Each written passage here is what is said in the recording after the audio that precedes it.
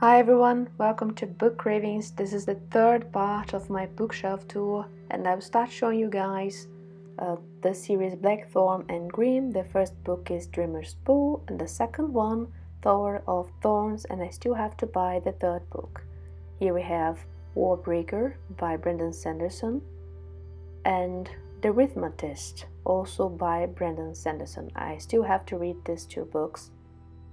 Next, we have a special edition of Elantris, the 10th anniversary author's definitive edition, and the Mistborn series, the Final Empire, Well of Ascension, and I still have to read the last one, The Hero of Ages, a really nice series. And my favorite book by Brandon Sanderson, The Way of Kings. This is the first book of the Stormlight Archive and the second one, Words of Radiance, I still have to read.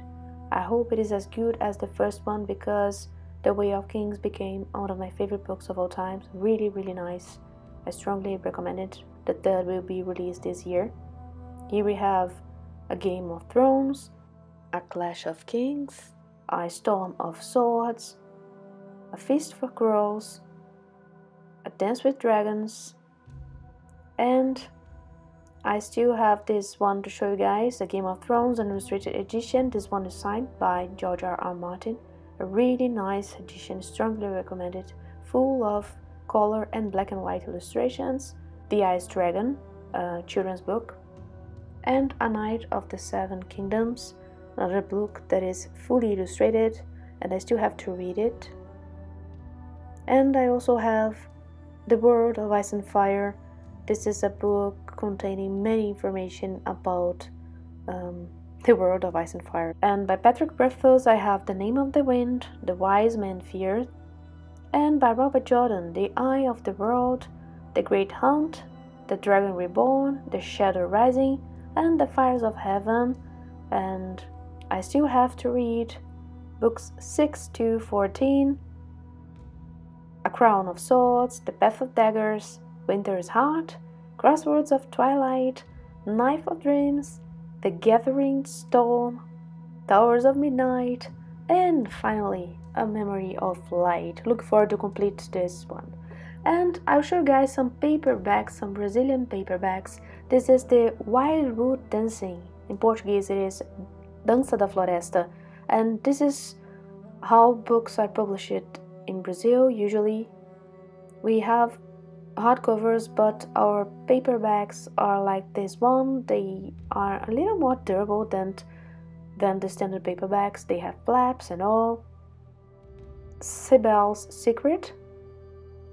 They are both by Juliet Marillier, a fantasy writer that I really enjoy.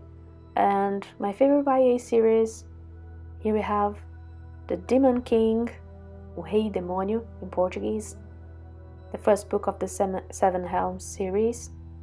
Next, The Exile Queen, Rainha Exilada, The Grey Wolf Throne, the third book of the series. I still have to buy the fourth one, but I have it in English, a hardback, American hardback. And also by Julie Marillier. This is the ugliest cover I have, but the book is good. It's called Daughter of the Forest. It's the first one of the Seven Waters trilogy.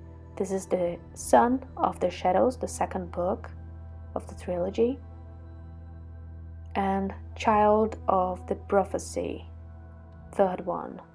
I still have to read the second and the third one. I really enjoy Juliet Marillier.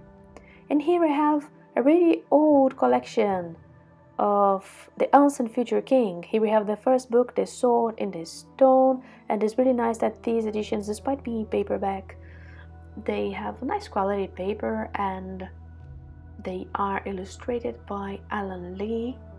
I have the first four books, unfortunately, I don't have the fifth one, and I tried to buy the fifth one second handed, but it's really, really expensive here in Brazil. And the second one, The Witch in the Wood, in Portuguese is A Rainha do Ar e das Sombras all of them illustrated. The third one, The Ill-Made Knight, and the fourth one, The Candle in the Wind. Next, by Marion Zimmer Bradley, one of my favorite authors, we have The Mists of Avalon in four volumes Mistress of Magic, The High Queen, The King Stag, and The Prisoner of the Oak. I am pretty sure I mentioned before that I love Bernard Cornwell, and here we have The Grail Quest, Harlequin, Vagabond, and the third book is Heretic. And I also have the Warlord Chronicles, and I really enjoy it. This interpretation of King Arthur. The first book is The Winter King, the second one, The Enemy of God, and the third one, Excalibur, a novel of Arthur. And also part of the Grail Quest. I have 1356, and I also have Books 1 to 9 of the Saxon stories. I still have to catch up with this series, but I love it. I read the first two books, The Last Kingdom, which is the first one, and I loved it. And I still have to read The Pale Horseman, and I want to read The Lord of the North, Sword Song, The Burning Land, Death of Kings, The Pagan Lord, The Empty Throne, and Warriors of the Storm. These are the ones I already have, and this series is really, really nice. I love Bernard Cornwell. Moving on, we have more fantasy, this time by Raymond E. Feist. I still have to read the Wicked War saga. Here we have Apprentice, Master, Silverthorn, and a Darkness at Sethanon. From the Empire trilogy, I have Daughter of the Empire and Servant of the Empire. I also have here um, Brazilian edition of Outlander. I've read this first book, it's okay, and the second one, Dragonfly in Amber. I still have to read it. A present edition of The Name of the Wind from the King Killer Chronicles. I read this first one in English, and I have also The Wise Men Fear in Portuguese, but I'll probably read it in English. I have here a really old edition of The Lord of the Rings. This is the first The Lord of the Rings edition I bought. Look how yellowish it is. I bought it in 2001 at the time of the movies was released. Also, The Hobbit, the oldest edition of The Hobbit I own. This one has better quality of paper. You can see it's not yellowish. And I store them together so. Actually acid free paper here in Brazil is really unknown thing. It's impossible to know the quality of the paper unfortunately. And that's one of the reasons um, usually I avoid buying national editions and translations but I have many books as you can see Another one. This is a hardcover Brazilian edition of The Hobbit. This one is nice. I like the cover. The paper, mm, I'm not sure. A really, really old edition of The Silmarillion, my favorite book by Tolkien. This is not the edition I own. I lent my original edition for a friend and he destroyed it and he gave me a new one. This is Unfinished Tales and Roverandom. Here we have a box of the Arabian Nights, volume 1 and 2, a really nice box. I really love it despite being a paperback, the quality is really good. Here we have an old book I've read many times, Wild Swans by Jung Chang. It tells the story of three generations of uh, women in China. I really love it and I strongly recommend you to read it. The title in English is White Swans. This one is really, really old, as you may see, but I love it. The Legend of Murasaki. Actually, this book tells the story of Murasaki Shikibu. Look how yellowish. Arr, I hate it. But the book is nice. It tells the story of Murasaki. She's the author of Genji. And here we have the Brazilian editions of Musashi volumes 1 and 2, white paper. I love this book. It's one of my favorite books. This is volume 1 and this is volume 2. 2000 pages. worth the time. Next, let's move on to some sci fi and more Red Rising, or Fúria Vermelha, a Brazilian edition, Golden Son, and I still have to buy the third one, maybe I won't do it, and the Foundation Trilogy, a paperback collection. Here I have Foundation, Foundation and Empire, and Second Foundation, and I still have to read the series by Isaac Asimov. Moving on, I have a Brazilian edition of Jurassic Park. This edition is paperback, but it looks good. Um, national book called Rani e o Sino da Divisão. It's a Brazilian one, so what's the point?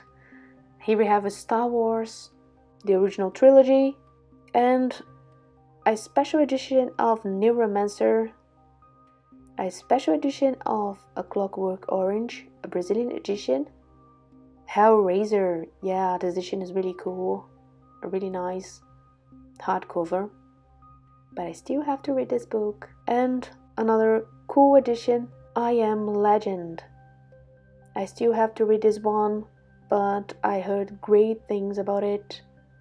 I don't have a copy in English, so I'll probably read this one in Portuguese. 2001 A Space Odyssey. A really nice book.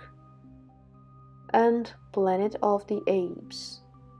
This one looks interesting. Also, it's paperback, but the design is really nice. I enjoy it a lot. So let's move on to vampires. Here I have some books by Anne Rice. I love her. So here I have Interview with the Vampire, The Vampire Lestat, Queen of the Damned. Ugh, terrible design. Memnoch the Devil and Blackwood Farm. Really nice. Blood and Gold is one I have to read, and Blood Canticle. I still have to read this one. And finally, I have here Interview with the Vampire, a graphic novel that tells a story from the point of view of Claudia, and the artwork is really nice. I really enjoy this edition. This one is in Portuguese, but there is an original American edition of this graphic novel. And last here I have Beedle the Bard and some fairy tales, some translations to Portuguese, this little copy here. This was the third part of my bookshelf tour. If you had the patience to continue watching this video, I still have more two videos to upload and I'll show you guys my YA books, books about books, more classics. I hope you're enjoying my bookshelf tour. See ya in the next video. Bye bye.